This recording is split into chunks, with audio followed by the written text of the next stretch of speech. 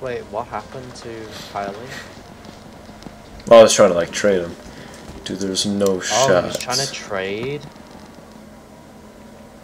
Nah, rip trading, man.